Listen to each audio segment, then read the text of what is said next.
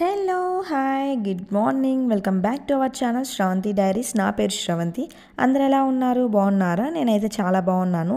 And um, చూసారా fog ఎలా ఉందో? అసలు మార్నింగ్ సెవెన్ అయింది టైం అప్పుడు. చూడండి ఫాగ్ అయితే ఎలా ఉందో. ఫాగే కాదు కొంచెం స్నో కూడా పడింది అనిపిస్తుంది. ఎందుకంటే నేను బయట ముగ్గేయటానికి వెళ్ళినప్పుడు ఆ ముగ్గేసి నాకు కొద్దిసేపు ఒక ఫైవ్ మినిట్స్ కొంచెం నా తల కూడా తడిచిందనమాట సెవెన్ ఆ టైంలో ఇక్కడ చూడండి రోజ్ ఫ్లవర్స్ ఎంత బాగున్నాయో. దీని వీటిని అసలు కట్ చేయబుద్ధి కాదనమాట. ఇంకా తప్పదు మరి. దేవుడికి పెట్టాలి కదా అందుకే కట్ చేస్తాను. ఆ గ్రీన్ కలర్ మధ్య రెడ్ కలర్ ఫ్లవర్స్ ఉంటే ఎంత లుక్ బాగుంటుందో కదా. అండ్ ఇక్కడైతే నేను లోపలికి వచ్చేటప్పటికి స్ఫూర్తిని పూర్వి లేపుతుంది లే లే అంటూ ఉంది. అండ్ అప్పటికి టైం సెవెన్ ట్వంటీ అయిందనమాట. ఎయిట్ ఓ క్లాక్ అంతా వ్యాన్ వస్తుంది. అండ్ ఇక్కడైతే నేను ఇంకా కిచెన్లోకి అయితే వచ్చేసాను దోశ ప్రిపేర్ చేద్దామని దానికి పిండి కలుపుతున్నాను. కొంచెం సాల్ట్ వాటర్ వేసి.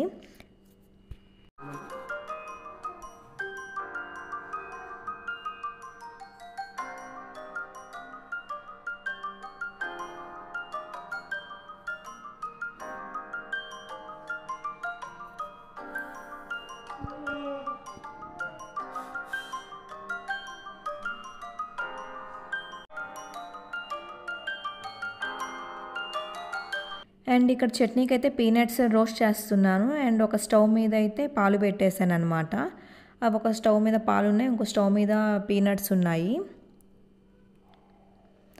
అండ్ ఇక్కడ మా పూర్వి చూడండి వాళ్ళ నాన్న ఫోన్ తీసుకొని మాట్లాడుతూ ఉంది ఏందేందో మాట్లాడుతూ ఉంటుంది. ఫోన్ ఇంకే ఫోన్ పట్టుకోదనమాట రవి ఫోనే పట్టుకొని ఆడుతూ ఉంటుంది. దాన్ని పగలగొట్టిన కూడా పగలగొట్టేసింది అనమాట ఐఫోన్. అండ్ ఇక్కడైతే నేను ఇంకా చట్నీ వేసేసి ఇంకా దోశ పోస్తున్నాను. స్ఫూర్తి అయితే రెడీ అవుతుంది. తన సెల్ఫ్గా తనే రెడీ అవుతుంది. లోషన్ రాసుకోవటం అంతా ఇంకా జడ ఒక్కటి నేను వేస్తాను అనమాట పిలకేయాలి కదా అది ఒకటి నేను వేస్తాను. కొన్ని కొన్నిసార్లు అయితే పిలకైనప్పుడు తనే దువ్వేసుకొని సైడ్ క్లిప్ పెట్టేసుకుంటుంది. లూజ్ హెయిర్ వేసేసుకుంటుంది కొన్ని కొన్నిసార్లు టైం లేనప్పుడు.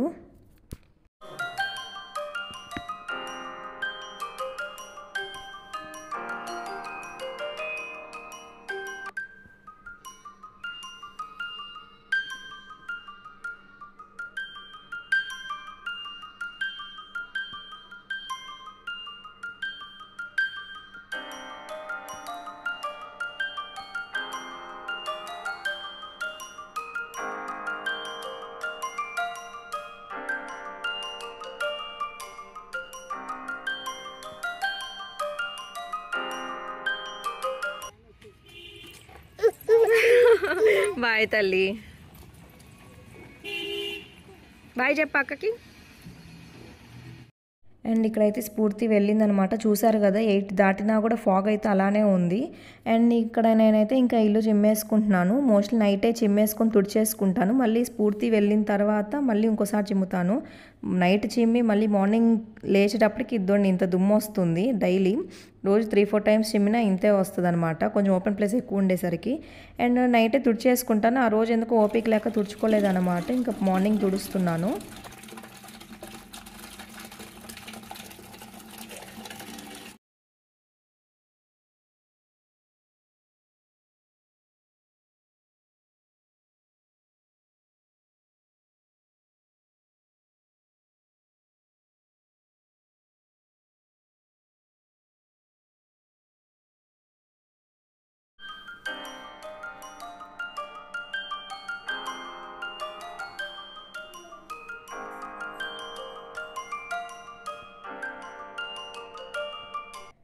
లోపలైతే చిమ్మి తుడవటం అయితే కంప్లీట్ అయిపోయింది. ఇక్కడ ఇప్పుడైతే నేను బయట చిమ్ముతున్నాను. చూడండి దుమ్ము అయితే ఎలా ఉందో మట్టి.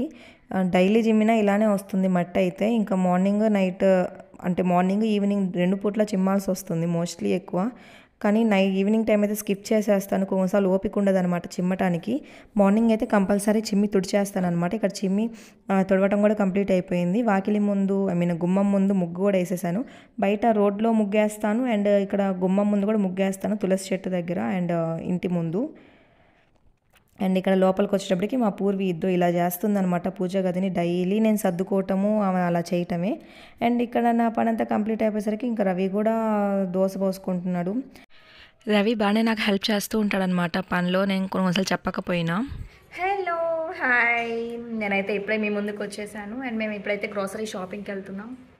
అండ్ నేను మార్నింగ్ నుంచి అయితే మీకు కనిపించలేదు ఇప్పుడే కనిపించడం. అండ్ ఇక్కడైతే మేము గ్రాసరీ షాపింగ్కి అయితే వెళ్తున్నాం అనమాట అంటే ఇంకా ఫెస్టివల్ దగ్గరకు వస్తుంది కదా శివరాత్రి. ఇంకా అందులో రవి కూడా బెంగళూరు వెళ్తున్నాడు. ఇంకా మళ్ళీ వచ్చేటప్పటికి లేట్ అవుతుంది హడావిడి ఎందుకులే అని చెప్పి నేను ముందే తీసుకున్నాను ఒక త్రీ ఫోర్ డేస్ ముందే. అండ్ ఇక్కడైతే మేము రిలయన్స్కి వచ్చామన్నమాట మొన్న కొత్తగా ఓపెన్ చేశారన్నారు అని చెప్పాను కదా అక్కడికి వచ్చాము.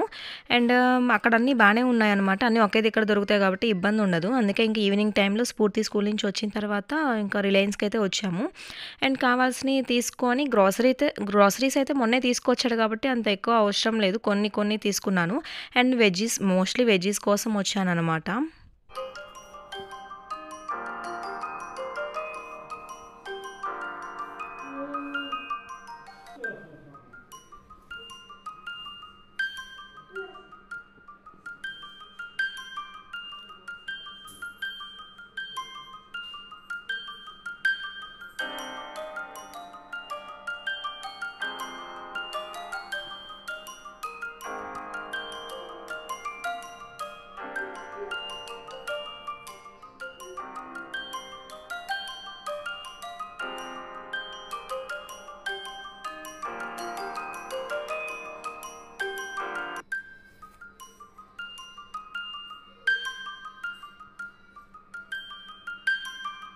ఇంకా క్లాత్ సెక్షన్కి వచ్చేటప్పటికి అంత అయితే ఏం లేవన్నమాట డ్రెస్సులు.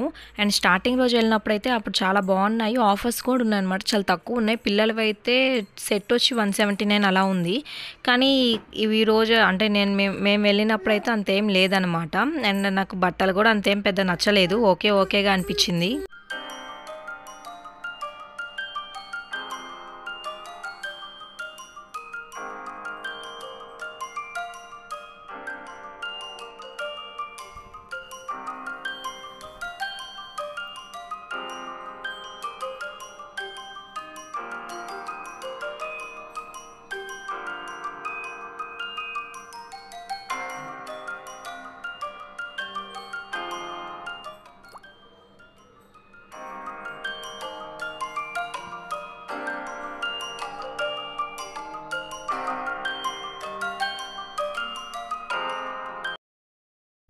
అండ్ ఇక్కడైతే ఇంకా పూర్వి అటు నడుచుకొని వెళ్ళిపోతూ ఉంటే స్ఫూర్తి వెళ్ళి తీసుకొస్తుంది అనమాట తీసుకొచ్చిందని మొహం గిచ్చిపడేస్తుంది అండ్ ఇంకా పక్కన ప- ఇంకా స్ఫూర్తి అయితే పక్కకి వెళ్ళిపోయింది అనమాట ఇంకా ఆమెను వదిలిపెట్టి ఇంపాటికి ఏమో తిరుగుతూ ఆడుకుంటూ ఉంది. పాప ఎంతసేపు నా ట్రాలీలో కూర్చుంటుందని దింపాను.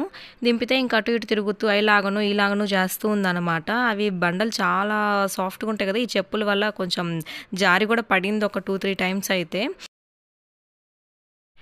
ఇక్కడైతే Spoorthi hide and seek biscuit packet తీసుకుంటుందన్నమాట. నేను చెప్తున్నానే అవి ఇంట్లో ఉన్నాయి వద్దు అని. లేదు స్ఫూర్తి అయితే లేదు నేను తీసుకోవాలి ఇంట్లో లేవు నాకు తెలుసు అంటూ ఉంది. కానీ పిల్లలకి ఇప్పటి నుంచే బడ్జెట్ అని నేర్పించాలి. అది కాస్ట్ ఇంత ఉంది వేస్ట్ చేయకూడదు అని చెప్పి. అండ్ అలా చెప్తున్నాను ఇంకా పక్కన పెట్టేసింది అనమాట ఎందుకు వేస్ట్ చేయటం అని చెప్పేసరికి. అండ్ ఇంక ఇక్కడైతే పూర్వి ఇద్దండి. అండ్ ఇక్కడైతే నేను ఒక ఇంపార్టెంట్ విషయం అయితే చెప్దాం అనుకుంటున్నాను. అదేంటి అంటే బడ్జెట్ బడ్జెట్ ప్లానింగ్ చాలా ఇంపార్టెంట్ ఎవరికైనా ఏ మనిషికైనా. అండ్ చిన్నపిల్లలకు కూడా చాలా ఇంపార్టెంట్. ఎందుకంటే వాళ్ళకి ఇప్పటి నుంచి చెప్తూ ఉంటే వాళ్ళు మైండ్లో అదే పడి ఉంటుంది. ఓకే జాగ్రత్తగా ఉండాలి జాగ్రత్తగా ఖర్చు పెట్టాలి అని చెప్పి.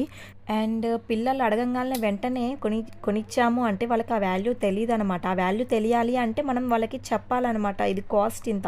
ఇది పది రూపాయలు ఉంది అంటే పది రూపాయలు ఎలా వస్తుంది? మనం ఎంత కష్టపడితే ఆ పది రూపాయలు వస్తుందని వాళ్ళకి మనం చెప్పాలి. ప్రతి ఒక్క రూపాయి చెప్పాలి వాళ్ళకి. అప్పుడే వాళ్ళకి ఒక బాధ్యత బాధ్యత తెలుస్తుంది అండ్ వాల్యూ కూడా తెలుస్తుంది ఆ విషయం గురించి అండ్ ఆ వస్తువు గురించి. అండ్ నేనైతే స్ఫూర్తికి ఫోర్ ఇయర్స్ బేబీ ఉన్నప్పటి నుంచి నేను ఇలానే చెప్తూ ఉన్నాను అనమాట కానీ వాళ్ళకి అర్థం కాదు ఆ ఏజ్లో మనం ఎందుకు చెప్తున్నాం ఏం చెప్తున్నాం అర్థం కాదు. కానీ వాళ్ళ మైండ్లో చెప్తూ ఉంటే వాళ్ళు అదే ఫిక్స్ అయిపోయి ఉంటుంది. వాళ్ళ మైండ్లో మా స్ఫూర్తికి నాలుగేళ్ళ పిల్లప్పటి నుంచి చెప్తుంటే ఇప్పటికి అర్థం చేసుకుంటుంది అనమాట ఇప్పుడు ఒక టూ టైమ్స్ అడుగుద్ది థర్డ్ టైం వద్దు అమ్మ అంటే సైలెంట్ అయిపోతుంది. అండ్ మనం మన పిల్లలకి ఎప్పుడు ది బెస్టే ఇవ్వాలనుకుంటాము. అండ్ ఏ పేరెంట్ అయినా ది బెస్టే ఇవ్వాలనుకుంటారు వాళ్ళ కిడ్కి. అండ్ um, ఎందుకో నాకు ఈ విషయం చెప్పాలనిపించింది మీతో షేర్ చేసుకుంటున్నాను. ఈ వీడియో అయితే ఇంతటితో ఎంజాయ్ చేస్తున్నా నా వీడియో మీకు నచ్చినట్లు కనుక అయితే please like share and subscribe అయితే చేయండి. Okay bye. Take care.